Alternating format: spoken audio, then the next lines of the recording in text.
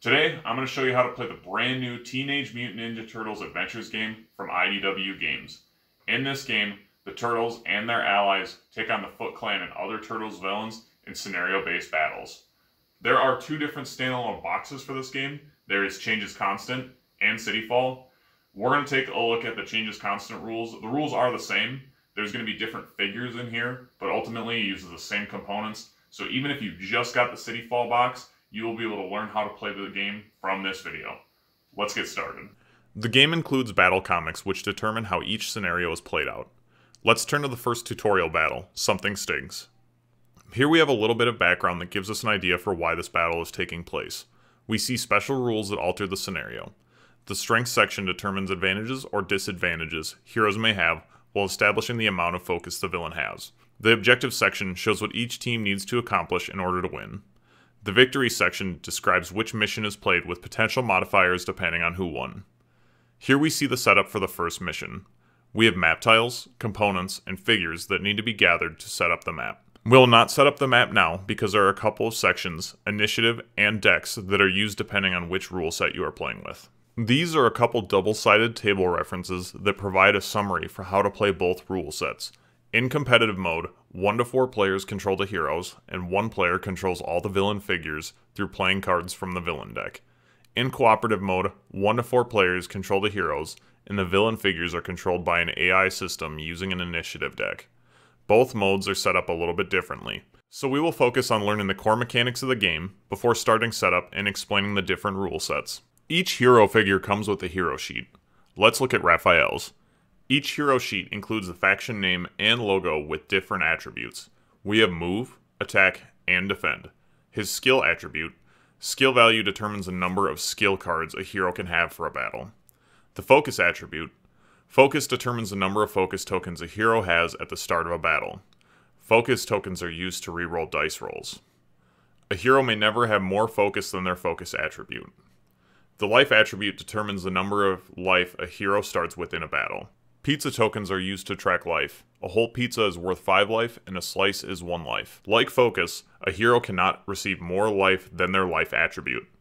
Below life is the Awakening attribute, which determines how a hero can return to the battle after being knocked down. We will cover this more later. Each hero has a special character ability that alters how they are played. Every hero has their own unique set of dice. These are the separate faces for each die. Before every round, each hero will roll their action dice to determine the actions they may take on their turn. They may re-roll some or all of their dice once per round by using a focus token. Action dice are arranged in a row because action dice are shared. A hero may use the leftmost die of the player on their right and the rightmost die of the player on their left. Dice placeholder tokens are used to show what actions are available on a turn. With dice sharing, a hero may take up to 5 actions on their turn. After using any dice, manhole cover tokens are used to show that an action has been used.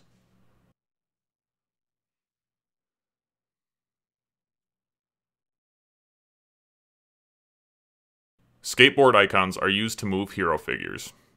Katanas are used for melee attacks.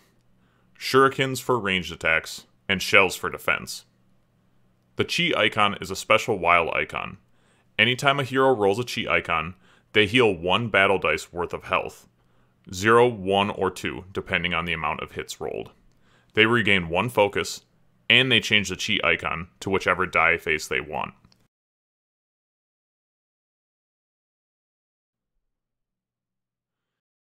Each hero has special double icons on some of their dice faces. These double icons may not be split into separate actions. When a figure spends one or more move icons as an action, they receive the value of their move attribute as move points for each move icon spent. For each move point, a figure may move into an adjacent space, orthogonally or diagonally.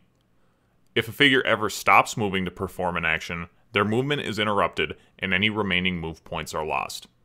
A character may not move into a space with another figure. When opposing figures are adjacent, a breakaway penalty increases the number of move points required to move.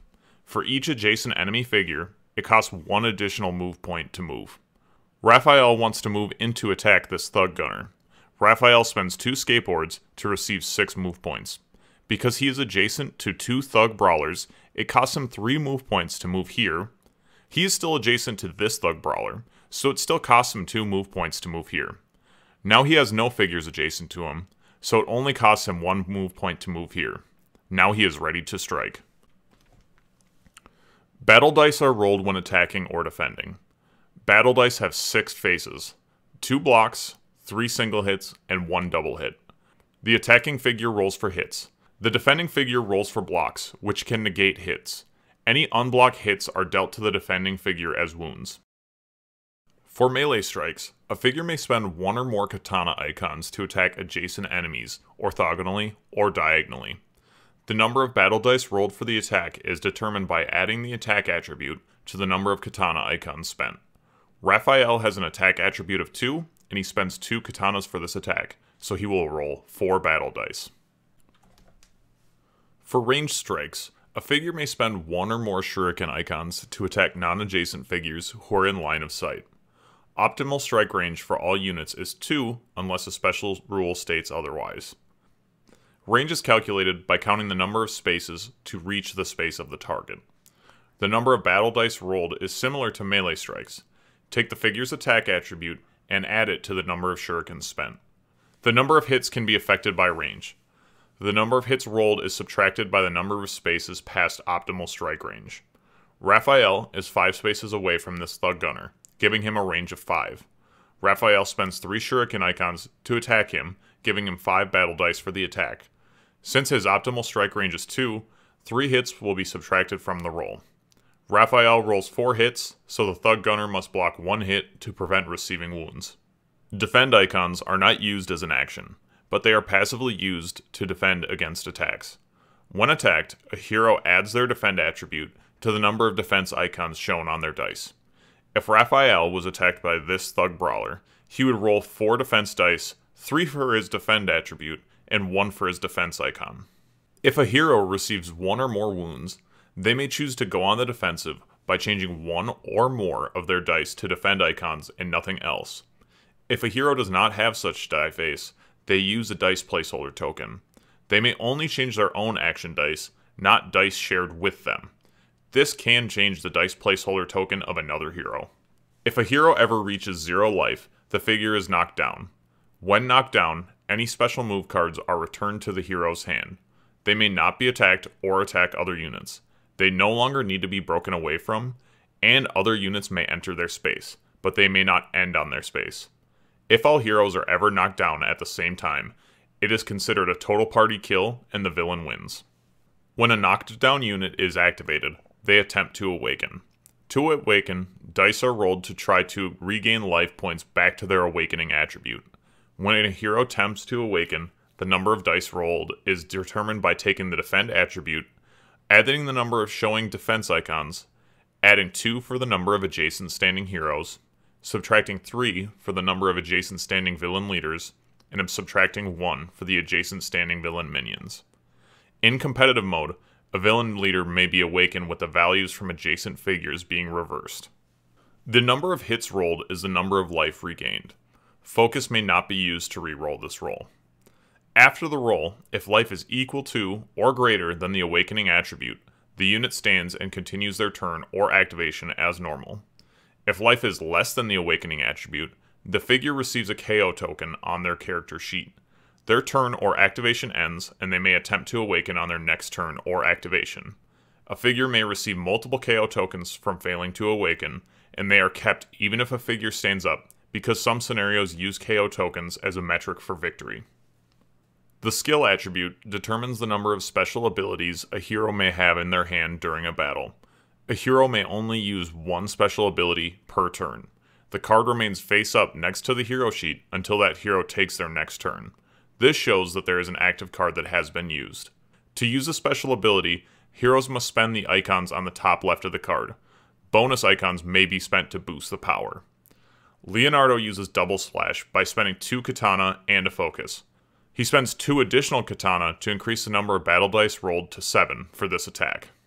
Now we will cover terrain, terrain lines, terrain moves, and terrain's effect on line of sight. Line of sight must be achieved for range strikes and some other special rules. Line of sight is achieved by drawing a straight line from the center of a figure's space to the center of another figure space without crossing any terrain that blocks line of sight. When covering terrain and terrain lines, if I do not specify that a terrain type does not block line of sight, then assume line of sight is not affected. An area surrounded by one color means that all spaces within that boundary is considered to be that type of terrain. If there is just a line, it is considered a terrain line and is only considered when moving or tracking line of sight across the line. Terrain may be printed on a board or be added to a board through tokens. Yellow is associated with slow terrain. It costs one additional move point to enter any space of slow terrain. It costs one additional move point to cross a slow line.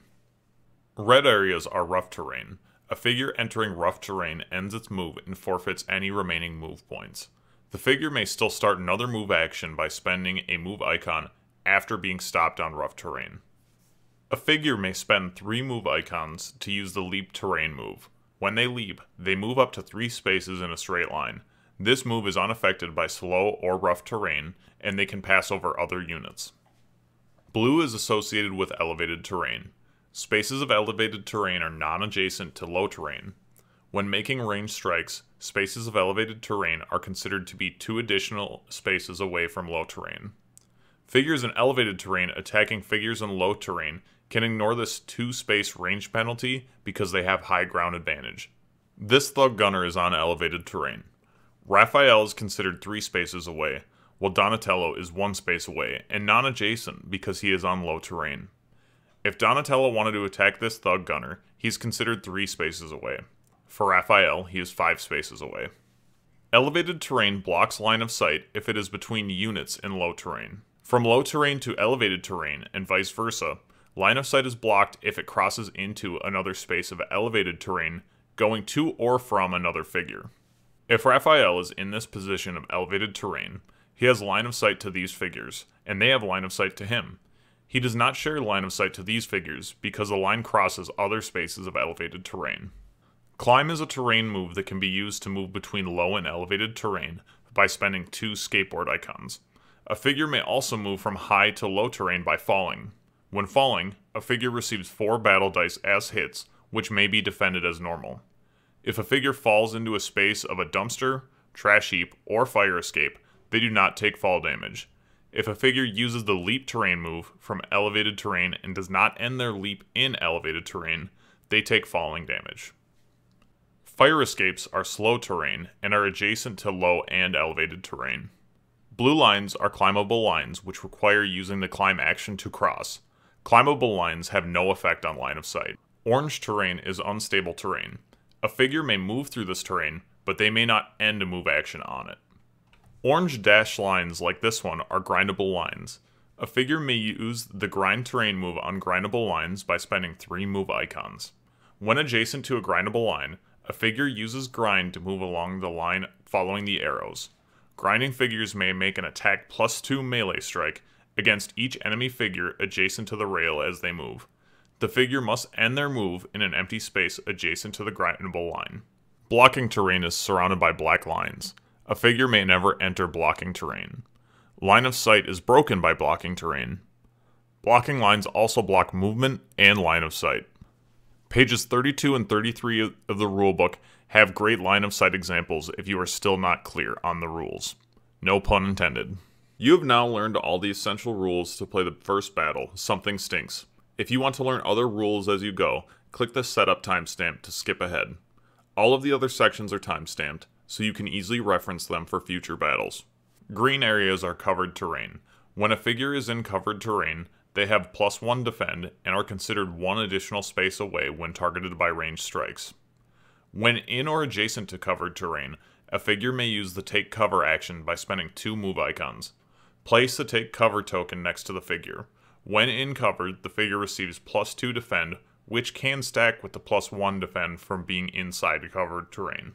Gray is associated with obscuring terrain.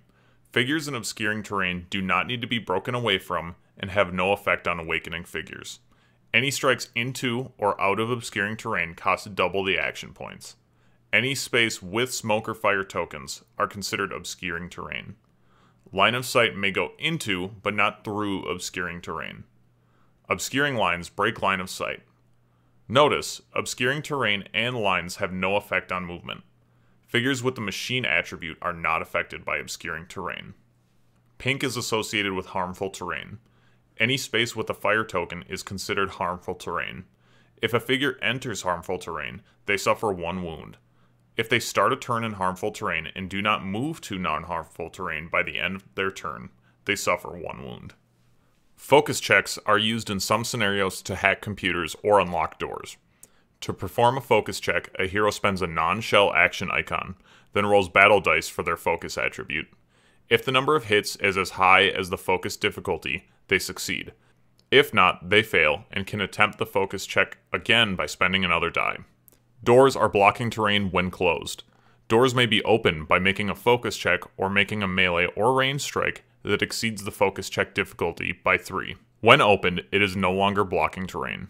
Figures may spend two move icons to take the crouch action when adjacent to cars, dumpsters, or roadblocks. Place a crouch token next to the figure. Line of sight may not be drawn to a figure with the crouch token through these terrain types. Cameras are a special token used in some scenarios. Cameras have line of sight in a straight line in the direction they are facing. A camera does not have line of sight of the space it is in. When a hero enters the camera's line of sight, it is alerted, which has different effects depending on the battle. When a new round starts, flip the camera 90 degrees on the line, matching battle setup. The camera is alerted for any hero standing in its new line of sight. Melee and range strikes may be used to destroy a camera. If a camera receives three or more hits, it is removed from the map. Small objects, such as manhole covers and trash cans, in the same space or adjacent to a figure, may be thrown by using the throw small object terrain move. This functions the same as a ranged attack, except katana icons can be used instead. After the attack, the object is destroyed and removed from the map. Some figures can throw large throwing objects, such as cars, dumpsters, and benches. They are also destroyed after being thrown. Spawn tokens are placed on the map during setup to determine where villain minions spawn at the end of rounds. Spawning will be covered in the cooperative and competitive rules sections. Some units, like the Mega Mouser, have the giant attribute. Giant figures take up multiple spaces and block line of sight. For breakaway, they count as two figures. When knocked down, the spaces that a giant figure is knocked down in become slow terrain. Giant figures cannot perform terrain moves and are not affected by slow terrain. There are also tiny figures, such as Baxter Stockman's Mousers. Tiny figures cannot perform terrain moves. They have space sharing. Up to three tiny figures of the same minion type may share a space. When grouped, they attack and defend as a group. For Awakening and Breakaway, multiple tiny figures in one space are considered just one unit. Tiny figures may split up and do not have to move as a group. Figures can receive stun tokens from certain abilities. A figure must spend one non-shell action icon to remove any stun tokens before activating. A figure can have more than one stun token at a time. Some battles will feature non-playable characters that can be carried. A figure can pick up an adjacent carryable character by spending all of their remaining move points and move actions. It costs one extra move point per space while carrying a character, and terrain moves may not be used. It costs nothing to drop a carried character in a figure's current space. In some battles, items may need to be carried to a specific location to complete an objective. A carryable item can be picked up from an adjacent space with no cost. This does interrupt a move action. Carried items may be handed off to ally figures by making a melee strike and rolling at least one hit plus one for each enemy figure adjacent to the figure handing off the item. Carried items can also be thrown to non adjacent ally figures by making a range strike with hits equal to the spaces away plus the number of figures adjacent to the catching figure. Michelangelo wants to throw a gem to Raphael, who is five spaces away. Raphael has one thug gunner adjacent to him, so Michelangelo needs to roll 6 hits to successfully pass the item to Raphael. If the thrown item passes through the space of an enemy figure, battle dice are rolled equivalent to the move attribute of the figure. Any double hits intercept the item. Carried items may be dropped into an adjacent space at any time. If a handoff or throw fails, place the item in an empty space closest to the target. If more than one space is available, the opposing player chooses which space it is placed in. Allies may sometimes be called upon as a reward for winning battles. When this happens, the heroes or villain looks at the cards and chooses one to receive benefits for the next battle. Let's set up the first tutorial mission in Adventure Comic 1. Place the map tiles 6A and 7A in the middle of the table like so. The players select the heroes they want to play. It is suggested to use the turtles for the first mission, so we will grab the hero sheet and action dice for each hero and place them around the map. Place the battle dice, KO tokens, manhole covers, life tokens, and dice placeholder tokens in easy reach of all players. Choose skill cards for each hero. For this battle, the heroes have a skill modifier of minus 1, so they will be taking one less card than their skill attribute into this battle. For the first battle, I recommend these cards for the heroes. Make sure each hero has the appropriate number of focus and life tokens based on their focus and life attributes. Gather the components and villain figures and place them on the map tiles in their designated positions. If a scenario calls for more figures than are placed on the board, set them aside in the figure pool where they may spawn from later. Put the green base clips on each hero figure to make them easier to distinguish from enemies. Place them on the green starting spaces shown in the battle comic. Be sure to have the rules reference sheets nearby. We have most of the game set up, but setup takes place differently depending on if you're playing the competitive or cooperative modes. We're going to move on to the competitive setup and rules. If you are not interested in learning the competitive rules right now, I put a timestamp in the description below that will skip ahead to the cooperative setup and rules explanation. For competitive mode setup, the villain player receives the villain player board and villain sheets for all the figures in play for the scenario. Give each villain leader pizza tokens to track their life attribute. The villain leader receives the amount of focus listed in the battle description. Like heroes, the villain leader cannot have more focus than their starting amount. Finally, set up the villain deck by finding the colored ability cards for each figure specified in the battle comic. For this first scenario, we will use Alopex's red cards, the Thug Gunner's red cards, the Thug Brawler's red cards, and blue cards, and the Foot Ninja's blue cards and green cards. The regroup card is always added to the villain deck, totaling 25 cards. The villain player shuffles this deck and draws 5 cards. If the regroup card is in their hand, shuffle it back into the deck and draw a new card. A competitive mode round begins with the setup phase where hero players roll and arrange their action dice with dice placeholder tokens for shared dice. After this, we move on to the battle phase where the heroes start by choosing one hero to take their turn and spending all their action dice. After each turn, the villain player takes a turn by playing two cards to activate their figures. After each hero has been activated and the villain player has taken four turns, we move on to cleanup, where the villain regains one focus and minions are spawned. Then the round tracker is moved down, and the next round begins with the setup phase. The villain player uses cards for their actions as opposed to the hero's dice. At the beginning of each villain turn, any cards in Active Zone 2 are moved into the discard pile. Active Zone 1 cards move to Active Zone 2, and the villain plays new cards into Active Zone 1 to activate their figures. Each card shows the type of figure it activates and the number of figures it activates. Each activated figure may use the action icons listed here. Spending skateboard, katana, and shuriken icons from cards functions the same as the hero spending these icons from their dice. The villain player must finish one figure's actions before moving on to the next figure. Each figure may only be activated once per turn. The villain player could play the Destroy Them card twice in one turn to move an attack with their Foot Ninja, but they would have to have at least four Foot Ninja on the board to fully utilize both cards. Defense icons showing on the villain ability cards add to the defend attribute of that villain type. If the villain player had these four cards face up in active zone 1 and 2, Alopex would have a plus 2 bonus to defense, all Thug Brawlers would have plus 2, all Foot Ninja would have plus 1, and Thug Gunners would not receive a bonus because they do not have a card with a defense icon.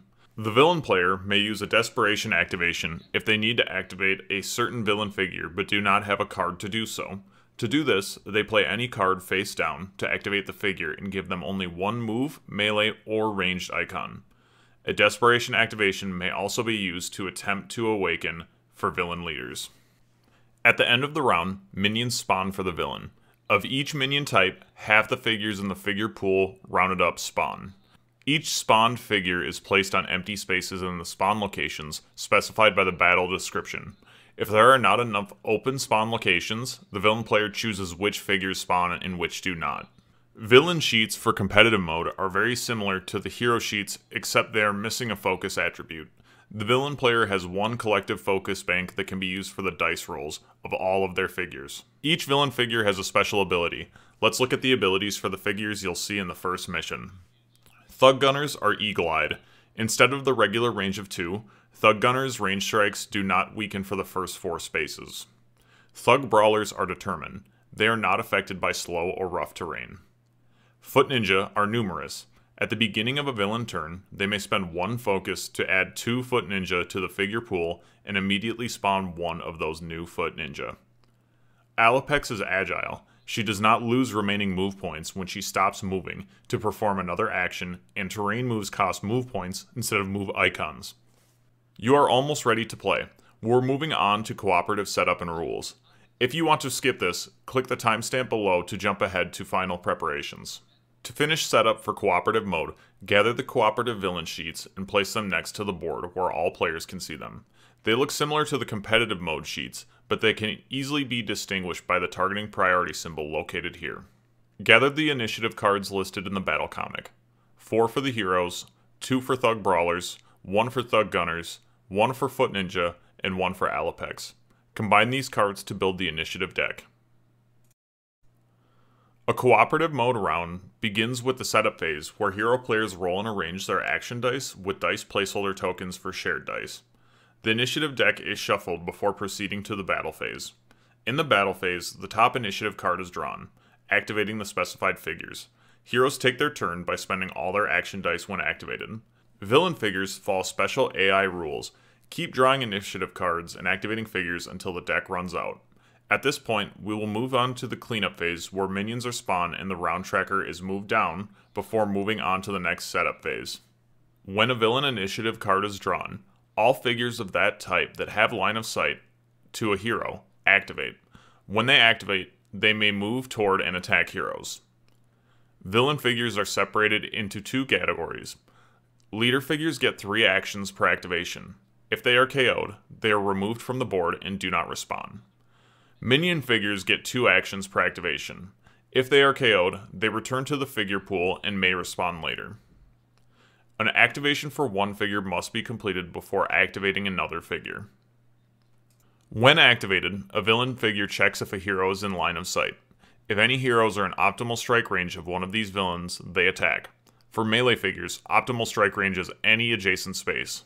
For ranged figures, Optimal strike range is two spaces unless a special rule alters this range. If multiple heroes are in optimal strike range, use the targeting priority located in the bottom right to determine the target hero. If there is still a tie, the players choose who is targeted. If the villain has line of sight to one or more heroes, but none are within optimal strike range, the villain figure moves toward a figure to get closer to being in optimal strike range. They may move as many spaces as their move attribute, Typically, they would stop moving as soon as they enter optimal strike range, but they use up additional move points to move forward if stopping would prevent another figure from entering optimal strike range. Each villain figure may only move once. If they are not in optimal strike range after their move, then their activation ends. If a ranged figure only has line of sight to an adjacent figure, they would spend their first action to move away before attacking. AI figures may spend two actions to use the climb action to get closer to targets in line of sight.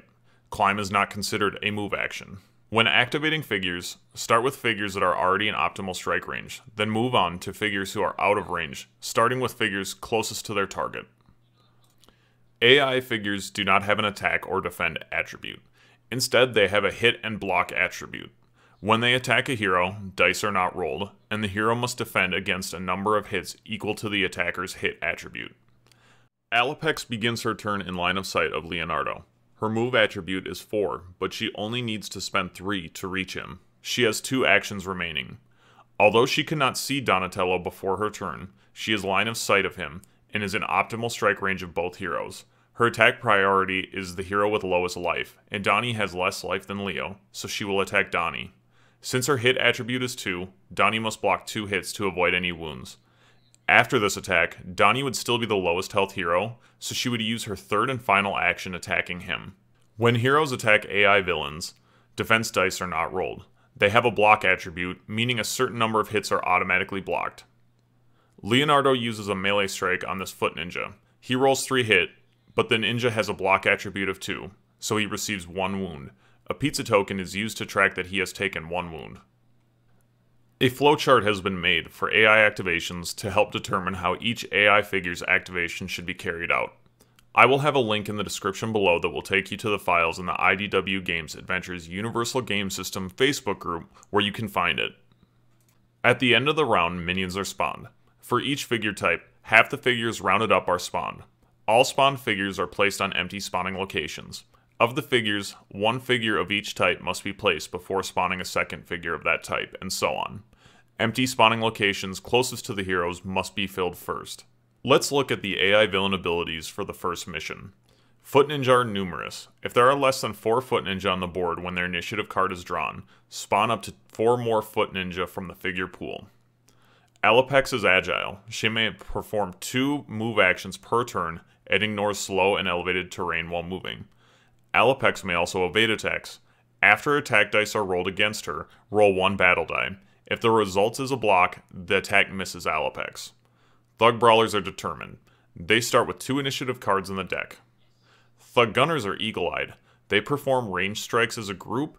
If multiple Thug Gunners would attack the same hero, instead of performing multiple single hit attacks, they combine to form larger attacks. They also have an optimal strike range of 4. Let's say we drew the Thug Gunner initiative card for this scenario. This Thug Gunner does not have line of sight to any heroes. This Thug Gunner only has line of sight to Donatello. These two Thug Gunners have line of sight to both Donatello and Raphael. This Thug Gunner only has line of sight to Raphael. This Thug Gunner does not activate because he has no line of sight. This Thug Gunner attacks Donatello. These two Thug Gunners would prioritize Raphael because he has more health. This one attacks, but this one must move before attacking. This Thug Gunner attacks Raphael. Donatello must block one hit, and Raphael must block two. Donatello blocks the hit against him, but Raphael does not block any. Donatello now has more health, so this Thug Gunner attacks Donatello for his second attack. This gunner has line of sight of both heroes, but he is not in optimal strike range of Donatello, so he attacks Raphael. Donatello receives two hits, and Raphael receives two hits. We are almost ready to play. Let's do some final preparations by reviewing our Hero Turtle's abilities. Raphael is enraged, when his life is 5 or below, he can reroll battle dice for attacking or defending without spending any focus. Donatello is smart. At the end of a round, he regains one focus or may give one of his focus to another hero. Leonardo has leader. After action dice are rolled, he may trade one dice between two heroes until the end of the round. Michelangelo has nimble. Once per round, he may move one space ignoring terrain effects and break away. Terrain moves also cost him one less terrain icon. If you ever cannot finish an adventure comic, use this victory bookmark to show which mission should be played next and turn it to the appropriate side, as a reminder of who won, so that side can get a reward for winning. This has been my how to play video for the Teenage Mutant Ninja Turtles Adventures game. IDW will be using this rule set in future IDW games titles, and it will be coined the IDW Adventures Universal Game System. It's going to be showing up in the Batman Animated Series Kickstarter that's showing up very soon, I'll be sure to include the link in the description below, so check that out. If you want to see more TMNT or board game content from me, please leave a like or subscribe to this video. If there's anything you're unclear about or you have any questions about the rules or future rules, definitely leave a comment and let me know. I'll try to get back to you as soon as I can. Otherwise, you're ready to play the game, so cowabunga, dudes.